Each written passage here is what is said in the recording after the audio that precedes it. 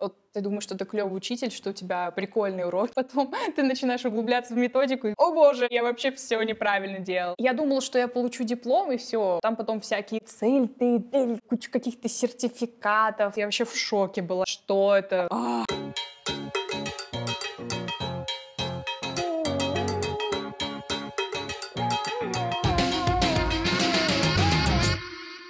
Hi there, it's Настя и моя рубрика Handy Hacks. И сегодня я хотела бы поговорить про международные сертификаты и экзамены, что они проверяют, на кого направлены и что они нам дают. Начнем с сертификатов, которые подтверждают наш уровень владения языком. Я уверена, что вы знаете про TOEFL и IELTS. Это экзамены, которые требуются для учебы, работы, жизни за рубежом. Срок у них 2 года. Когда я ездила по обмену в Великобританию, мне как раз нужно было сдавать IELTS UKVI для того, чтобы получить студент студенческую визу. Кембридж также предлагает бессрочные сертификаты, которые подтверждают уровень владения языковой компетенции. Успешное прохождение экзаменов CAE и CPE подтверждают владение языком на уровне C1 и C2 соответственно. Однако в зависимости от того, сколько баллов вы набираете, вы можете получить разные сертификаты. Например, сдав экзамен CAE, вы можете получить сертификат B2, C1 и C2. А сдав CPE, вы можете получить сертификат либо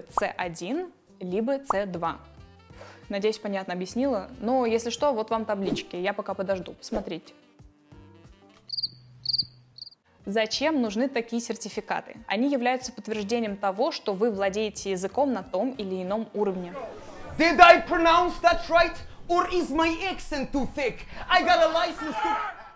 Более того, во время подготовки к ним ты находишь для себя очень много э, интересного. Например, я сейчас готовлюсь к CPE. Правда, это очень сложно. Прям. это очень-очень сложно. И, если честно, задания там очень сложные. То есть там даже сам носитель ногу сломит сломит. Существуют также сертификаты, которые подтверждают наше владение методической базой. Например, Сельта.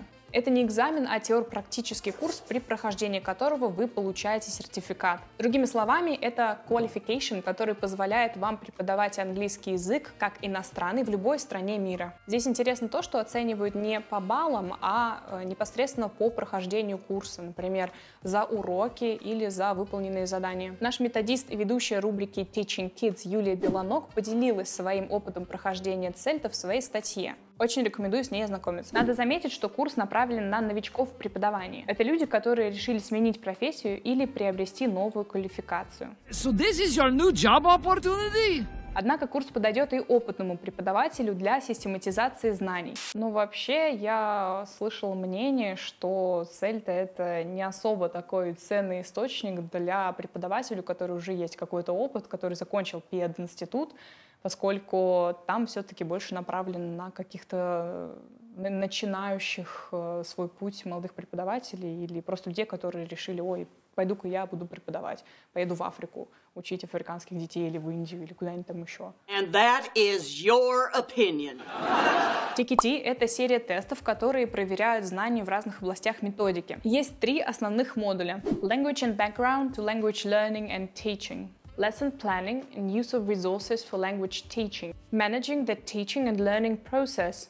В TKT также есть специализированные модули, а именно TKT CLIL и TKT Young Learners. Можно пройти тест по любым модулям в любое удобное время. То есть это не один гигантский экзамен, а разные тесты на знание методики. Зачем вообще нужен TKT?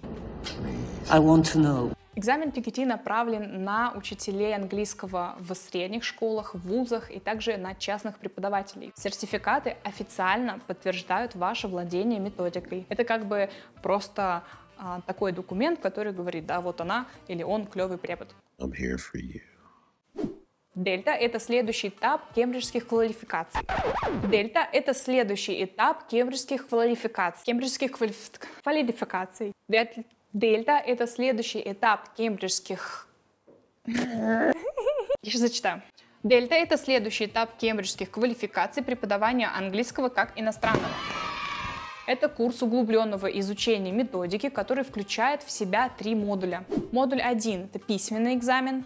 Модуль 2 — теория и практика преподавания. Модуль 3 — письменная работа. Каждый модуль оценивается отдельно, и чтобы получить сертификат Дельта, необходимо пройти все три этапа. Зачем нужен Дельта? Cambridge Delta — это международный диплом, который дает вам право преподавать английский как иностранный в престижных языковых школах, а также занимать административные позиции в учебных заведениях. I'm to be your new boss. Надеюсь, видео для вас было полезным. От себя добавлю, что отсутствие сертификатов вовсе не говорит об отсутствии компетенции. Есть прекраснейшие преподаватели и без всяких сертификатов. Такого рода курсы и экзамены являются одним из способов профессионального развития и получения опыта. Ну и также некоторый такой челлендж для преподавателей, если нам хочется двигаться куда-то дальше. Ну, лично для себя я пока не считаю целесообразным проходить такие курсы, поскольку я только что закончила ПЕД. И все четыре года я эту же методику изучала. Хотя в будущем, я уверена, мне будет это интересно. Пожалуйста, напишите в комментариях, есть ли у вас какие-нибудь сертификаты и как вы вообще к ним относитесь. На этом не все. Ставьте лайк, подписывайтесь на наш канал и stay tuned. Bye! Я не могу, просто меня ржать начинаю.